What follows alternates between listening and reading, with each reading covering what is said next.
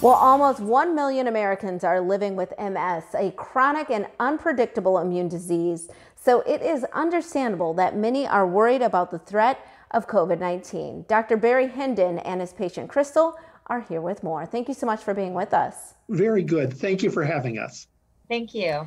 I'm happy to have you here. Dr. Hendin, I want to start with you. How has COVID 19 impacted your patients and how you treat them? So the, the some impacts are obvious, and that is that we're using more telehealth.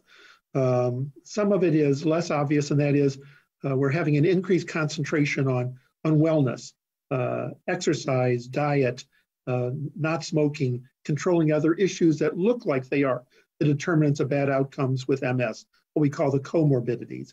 Uh, the reassuring thing is that people with MS do not look as if they have uh, increased risk of COVID 19 uh, because of their MS, unless there's significant disability. Um, and, and it looks as if there is no unique therapy which is uh, uh, to be avoided uh, because of COVID 19. So we find ourselves reassuringly uh, being able to tell our patients that they're not at increased risk and that the medicines we should be using remain the appropriate medications for them uniquely. And can you tell us a little bit more about this new treatment option? Yes, the new treatment option you're speaking of, I think, is Mavenclad.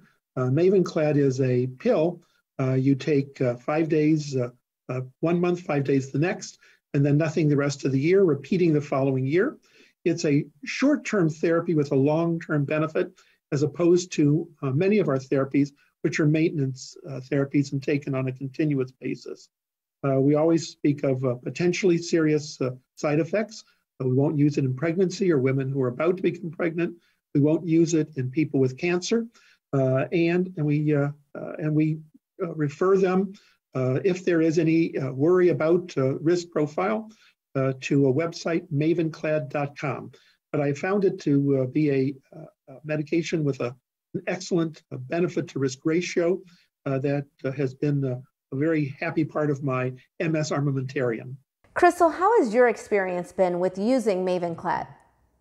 I started Mavenclad in 2019, and so my first year, I um, I was excited about starting Mavenclad simply because I didn't have to go to monthly infusions and have uh, deal with the infusion center and and uh, you know no offense to Dr. Hendin, but not you know not seeing my physician every single month was um, was a you know it, it was exciting for me. So the first round, I I the first five days I actually experienced a little bit of GI upset, some tummy issues, which is normal for me whenever I take a new medication, especially a pill.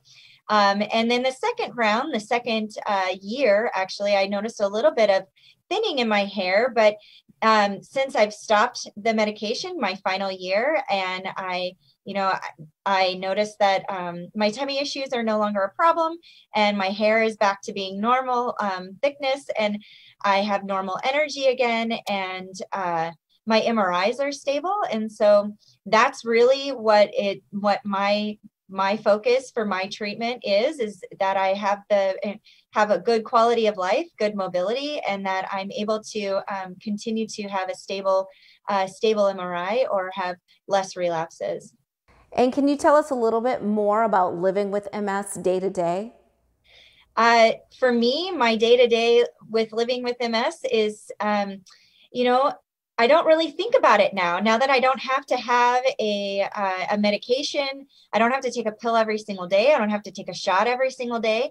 So I really, um, you know, a lot of what I'm thinking about is just the normal stuff getting my kids to school, working, making sure during this pandemic that we are um, healthy, that we're exercising, that we're eating well, we're washing our hands, we're socially distancing whenever appropriate, uh, you know, wearing masks. So I, I feel like um, even though I have MS, I, I feel like I I don't really think about it as much as um, as I did before, and so to me, that's that's freeing. All right, Crystal and Dr. Hendin, thank you so much for being with us. Really appreciate it, and we'll be right back with more Midday Maryland right after this. Stay tuned.